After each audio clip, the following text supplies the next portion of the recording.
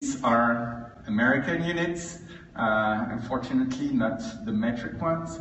Um, I'll try to translate as we go along and I'll try to uh, highlight the differences uh, between uh, what we plan uh, for what, what for Europe and, and, the US.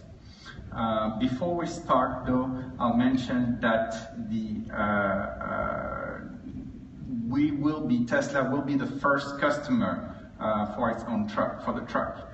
So we will use our own trucks to carry cargo in the US between our different facilities. Uh, we have an assembly factory in California, we have a battery factory in Nevada, so we'll use our truck to carry the things in between. And uh, uh, once things are good in the US, then we'll expand to Europe. Don't ask me for a specific timing, but we'll do it as soon as possible. Because I know some of you are very eager to get their truck here, and we'll do everything possible. So uh, I'll show you the presentation, this little picture of the truck. Uh, because it is a Tesla, what matters to us uh, first is the performance. So we have a, uh, uh, we, we, want to have a truck which uh, has the best possible performance. So it means different things. Um, but one of the important one is the acceleration. So here you have a little uh, comparison uh, between uh, uh, our, our electric truck, and this is actual speed to go from zero to 60 miles per hour. So I know that's 100 kilometers per hour. So I know trucks don't go that fast in Europe. So, but you can imagine how quickly you can go at full load from zero to 100 kilometers per hour and uh, below is what the uh, diesel truck can achieve. So two things, the truck can go to speed faster, so you can cover more kilometers in the same amount of time, but also it merges with traffic more smoothly. And this is quite important for safety. So you don't have a truck that takes a long time to get on the highway and you can uh, go faster. Uh, similarly, uh, you can go a quite steep grade at the same highway speed. Again, here I put 65 miles per hour. I know this is quite fast. It's a little over 100 kilometers per hour. That's legal in the US, uh, but we will limit it to what uh, the speed limit here uh, is.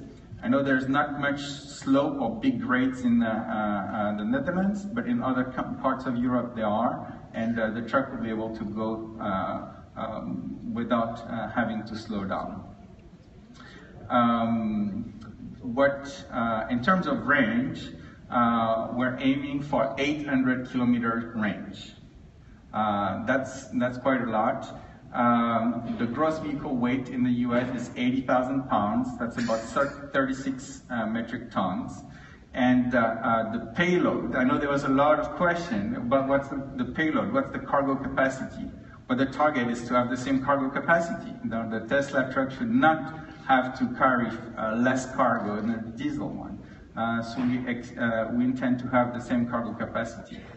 And in the US at least, 80% of the routes are less than 400 kilometers, which means you can go and come back without having to charge.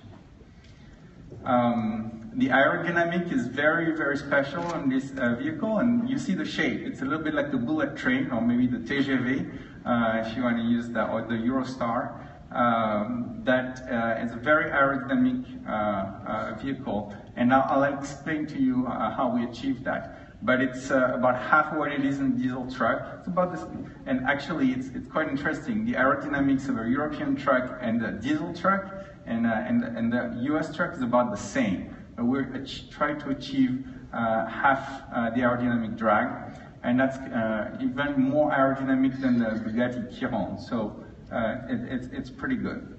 Uh, why is that important? Because if you're very aerodynamic